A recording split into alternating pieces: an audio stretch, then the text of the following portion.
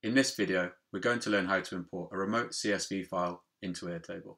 To do that, we're going to use the Data Fetcher app for Airtable. So the first thing you need to do is go to the Airtable app marketplace and install Data Fetcher. Data Fetcher is a free app that lets us run API requests as well as connect to all sorts of different applications.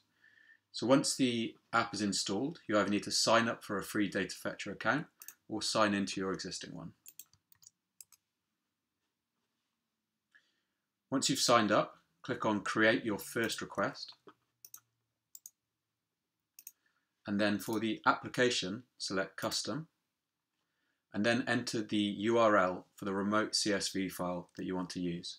So rather than uploading a file from our computer, I'm assuming you'll want to use a file that's stored somewhere else on a remote server. So we're going to use a CSV file from the UK government. Uh, it's like an open data set and you can see that that's stored on in an Amazon S3 bucket um, on a remote server. Then add a name for your request, like fetch CSV. Set the output table and view to where you want to import the CSV file to, and click Save and Run. You can toggle this to hide the warning in the future that it's going to update our output table. And then the response field mapping is going to open.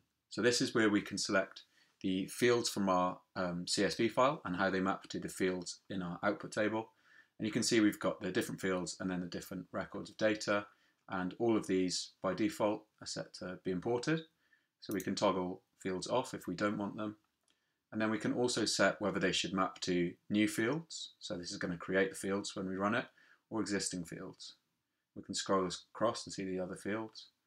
So for this job title field, I'm going to change it from creating a new field, which is the default, to using the existing name field.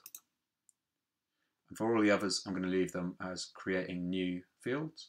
Um, I can also change the type here. So I'm going to change the type of field that this creates um, to a currency field.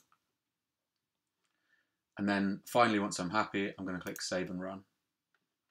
You can see Data Fetcher is going to create the new fields that it needs to create and then run the request again and import the CSV data into Airtable. So you can toggle this to hide this warning again in future and click Show Output Table. And we can see that all of our data has been imported from the remote CSV file into Airtable. Finally, if you want to schedule this request, you'll need to upgrade to a paid data fetcher account, and then you can set the schedule here.